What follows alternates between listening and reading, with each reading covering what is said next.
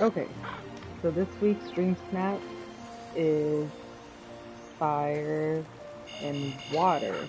Fire and water and its decor challenge, and I've literally been working on it for a whole week. There's only two more days left, and this is the picture. I think. I think I finally got it. This is the picture. Out of the necessary red and blue, I have 7 red items, 12 blue items. I'm not really going for item count. I'm going for the whole look. I think I got a whole look. Whole picture. Good scenery.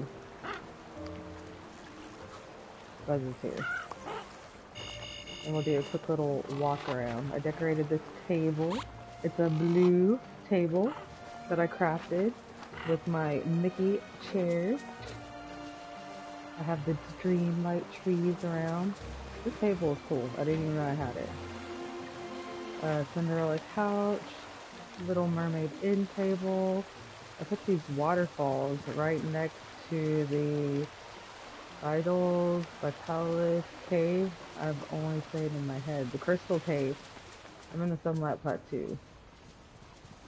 And it's sunset, of course. Oh, and I bought the Simba backpack, so I've been hanging out with Simba, wearing my Simba outfit, my fire outfit. I've gotten totally fire, so I tried to bring out the water in the Sunlight Plateau.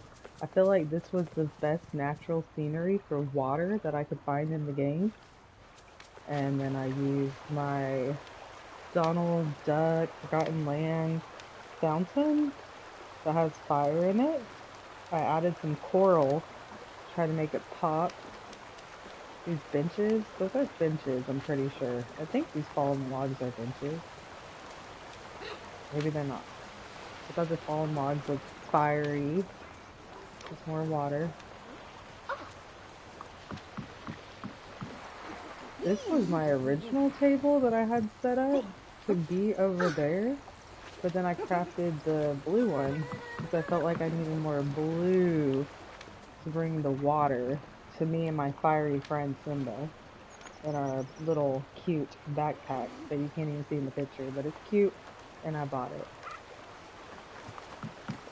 Back here, blue ice cream machine, uh, more water, more torches, cocoa stand, that's a red item, apple bowl. I think I don't know if they're red and blue if you get one for both or whatever. I finally bought these limes. They're blue items. I thought the Beauty and Beast limes went well with Simba. He's like the king and this is like his area and we are chilling. I made some red and blue food. And I think it's pretty cute overall.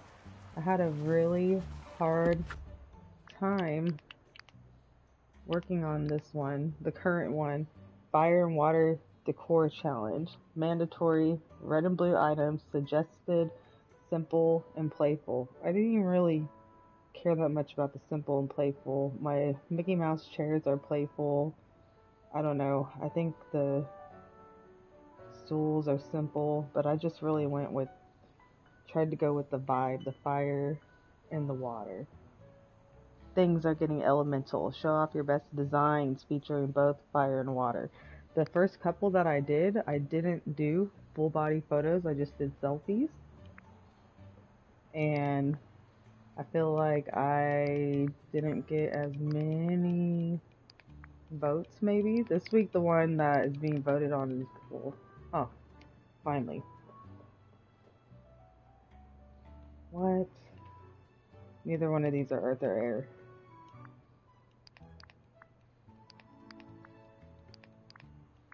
I'm probably not even going to be able to vote. But yes, there's only two days left.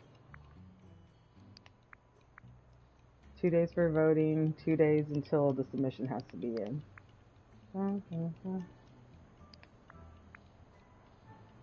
And it's still lagging. I was on the PlayStation 5 and I was able to vote much, much easily easier compared to this. Takes me forever. But yeah. This was my the little area I decorated. Now that I'm doing all these dream snaps, I'm getting more and more decorated. I'm having a problem though. I literally had to change the earrings because the picture just looks blurry. This looks blurry.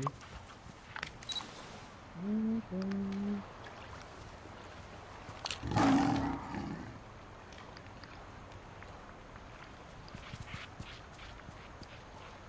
I was using that filter, but it's almost like it's not uh, dark enough yet.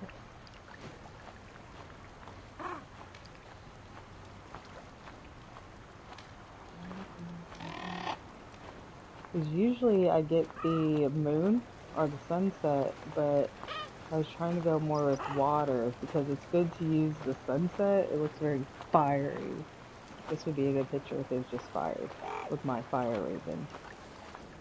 But that was what was hard for me is to get the water. And it's a decor challenge, so I'm trying to get some of the decorations in there. Because I usually like to just take pictures that are pretty. But I also want to win. Win, win, win. But yeah, I still have a couple days. I might take a couple more pictures. Just trying to get the perfect, perfect one. It's like Simba's eyes look a little googly and hers look a little blurry. And I don't know. But I think it looks really good, and that's how I'm submitting it.